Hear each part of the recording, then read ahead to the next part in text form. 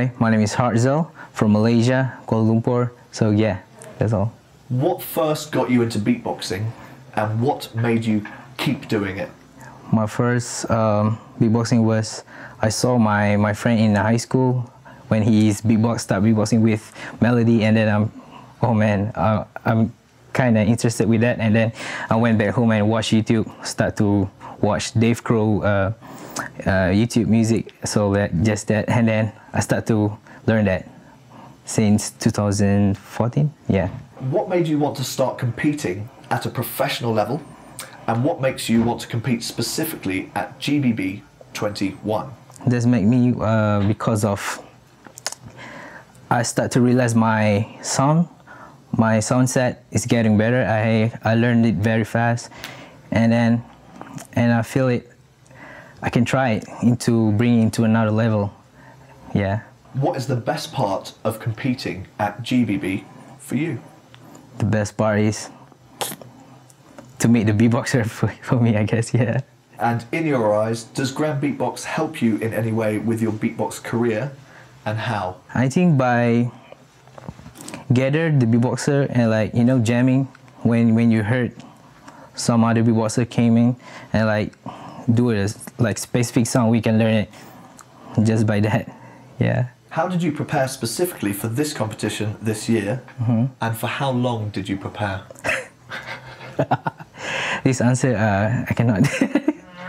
But yeah even though uh, I just got in like very short amount of time you know I just prepared for a showcase that Peponi told me to do but yeah I'm gonna use it for Elim so yeah I haven't kindly roughly haven't prepared for a battle just for the Elims yeah As a beatbox performer, what do you normally do to impress a crowd when you perform? just a lot of gimmicks.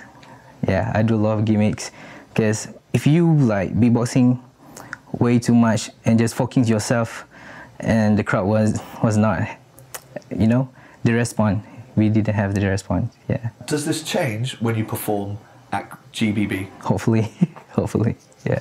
How do you try to enjoy yourself when you practice? And how do you come up with new routines for GBB? Sometimes I hear a lot of other beatboxers doing it on by watching YouTube and all that stuff, but the way I enjoy it, I always um, hear it on SoundCloud.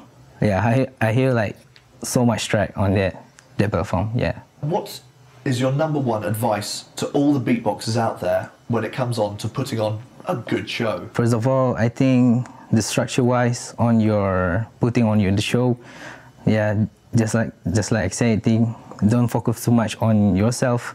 Must focus uh, on playing with the audience, you know, and then make make they dance to your own music. So yeah, that's that's the important part for me. Besides the Grand Beatbox stage and in front of beatboxers, mm-hmm. where else would you most like to perform in the world? Any stage, any festival? I haven't figured it out yet, but for now, I think this GBB, yeah, this, this one for me is the prestigious, prestigious stage for me. Yeah, Who is your favorite solo beatboxer? my favorite, probably Inertia. Your favorite looper? Favorite looper, maybe Biscuit, Who do you want to battle? Inertia, Who do you not want to battle? Alem, What's your favorite food? probably rice, rice, fried rice. Yeah. Please tell everyone where to find you on your socials on the internet. Oh, you guys can find me on Instagram, uh, Facebook, and Twitter. Instagram is Heartzel underscore. On my YouTube channel is just Heartzel, and same goes to uh, Twitter.